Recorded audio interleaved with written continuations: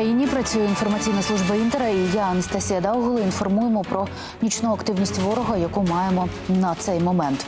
В Україні триває повітряна тривога, але вже не в усіх регіонах.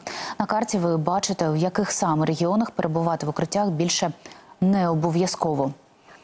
Окупанти намагалися атакувати столицю. Було чутно вибухи. Працювала протиповітряна оборона.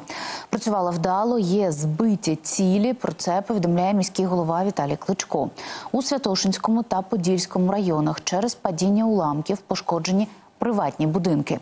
Рятувальні служби вже на місці. За наявною інформацією, люди не постраждали.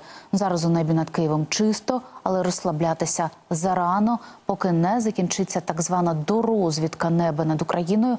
Небезпека залишається актуальною.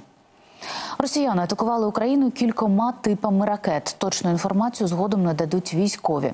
Але за попередніми даними відомо, що перший удар був завданий з Каспійського регіону. Стратегічні бомбардувальники ту 95 МС випустили ракети. Х-101. Другий удар був завданий ракетами Калібр з акваторії Чорного моря. Ракети зайшли на територію країни не єдиним масивом, а кількома хвилями. Перші випущені росіянами ракети рухалися через Запорізьку область у бік Дніпропетровщини, Полтавщини, Кіровоградщини та Черкащини. З Кременчука згодом надійшла інформація про вибухи. Відпрацювала ППО. І за попередньою інформацією, як і у Києві, вдало ракети були збиті. А от калібри розділились на кілька груп. Одна з них вирушила через Вінниччину на захід. Згодом з Хмельниччини та Львівщини надійшли повідомлення про вибухи.